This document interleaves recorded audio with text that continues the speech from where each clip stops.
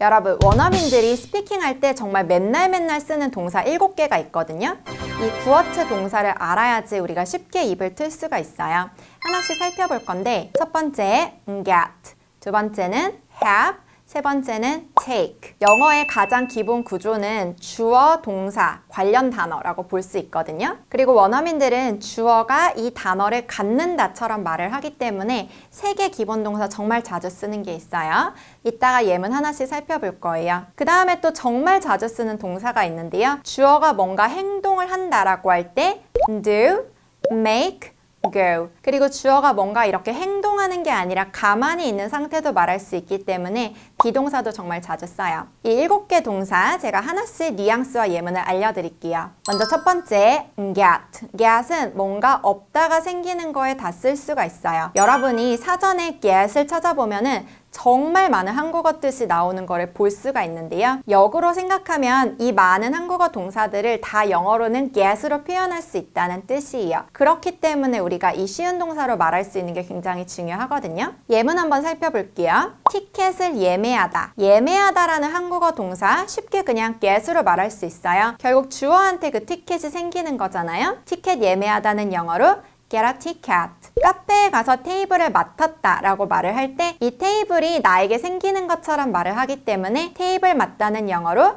get a table. 취직하다. 직업이 생기는 거라서 취직하다라는 어려운 동사 따로 없이 get으로 쓰는 거를 볼 수 있죠? 두 번째 쉬운 동사는 have. 이것도 정말 정말 자주 써요. have는 완전히 내게 됐다라는 느낌이 강해요. 내가 그거를 가지고 있지 않을 때는 I don't have it. 그리고 이게 나한테 생겼을 때는 I get it. 그 다음에 완전히 내게 됐다가 I have it 이라고 볼 수 있거든요. 아까 취직하다가 영어로 get a job 이었죠. 그런데 취직을 막 했을 때는 나 취직했어. I got a job 이렇게 말을 하는데 그 다음에 나는 직업이 있어요 라고 말을 할 때는 I have a job 이라고 말을 하게 돼요. 내가 감기에 막 걸리면 I got a cold. 그런데 계속 감기에 걸려 있는 상태다. 그 감기를 내 몸 안에 가지고 있다라고 말을 하기 때문에 I have a cold 이렇게 바뀌거든요. 그리고 have는 완전히 내게 된 거를 말을 하기 때문에 음식도 가능해요. 내 몸 안에 들어오는 거죠. 아침을 먹다를 영어로 I have breakfast, eat 먹다라는 동사 대신에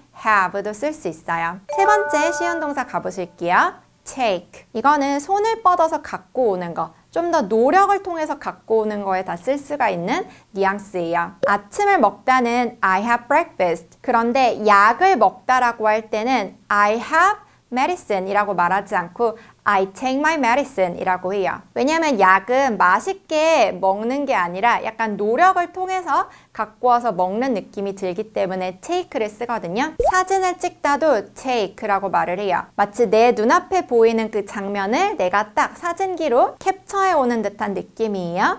take a picture. 샤워하다도 take를 쓰는데요. 마치 그 샤워기를 나한테 갖고 와서 뿌리는 그런 느낌을 상상해 보세요. Take a shower. 네 번째 원어민들이 정말 많이 쓰는 쉬운 동사 do. 이 동사의 뜻은 하다, 자주자주 하는 거에 쓸 수 있어요. 예를 들어서 집안일 하다, 회사 일 하다, 숙제하다 이런 걸 다 말할 수 있거든요. 집안일 하다는 영어로 do the housework. 숙제하다는 영어로 do my homework. 그리고 축구 같은 경기를 하는 거는 play라는 단어를 쓰지만 요가나 필라테스처럼 내가 정기적으로 하는 운동은 do를 쓸 수 있어요. 요가 하다, 이 하다에 해당되는 게 do라고 생각하시면 되세요. 그래서 do yoga. 다섯 번째 동사는 make. make는 두와 다르게 자주 일어나는 사건이 아니라 어쩌다 한번 내가 만들어내는 사건을 말할 때 쓸 수가 있어요. 예를 들어서 실수하다. 영어로는 make a mistake, a mistake. 실수 한 번의 사건을 make, 만들었다라는 뜻이에요. 돈을 벌다, 친구를 사귀다도 make로 말할 수가 있는데요. 돈을 번 사건을 만들어내고 친구를 처음 사귄 사건을 만들어내듯이 말을 해요. 예를 들어서 많은 돈을 벌었다는 make a lot of money. 그런데 돈이 이미 많이 있다라고 할 때는 have a lot of money, have를 쓰거든요. 그래서 아까 배웠던 have랑 또 연관이 되죠. 친구를 한 명 사귀다는 make a friend. 그런데 친구가 이미 많다라고 할 때는 have a lot of friends 이런 식으로 바뀌어요. 여섯 번째 동사는 go. 사람이 어디론가 계속 이동을 하기 때문에 정말 자주 쓰는 기본 동사예요. 학교 가다는 영어로 go to school. 그런데 학교처럼 맨날 맨날 가는 곳이 아니라 어쩌다 한번 들르는 곳은 너를 붙여주세요.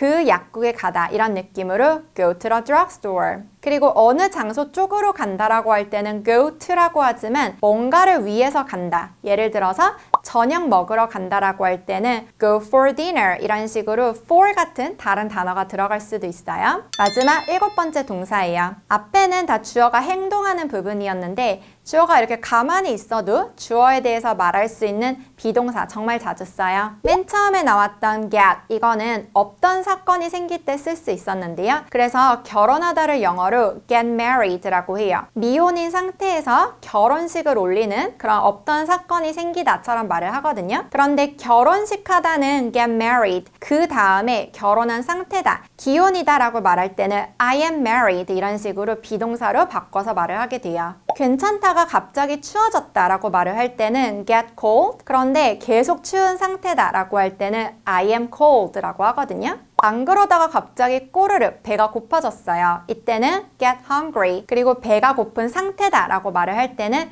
I am hungry. 내가 뭔가 행동을 하는 게 아니라 그냥 가만히 이렇게 있는데도 배가 고픈 상태다라는 거를 비동사로 말을 할 수가 있어요. 네, 오늘 원어민들이 정말 자주 쓰는 동사 7개의 뉘앙스 살펴봤는데요. 앞으로도 이 동사 이용해서 내가 자유롭게 말할 수 있도록 영상 올려드릴 거예요. 여러분 그럼 마지막에 나오는 퀴즈도 꼭 풀어보세요.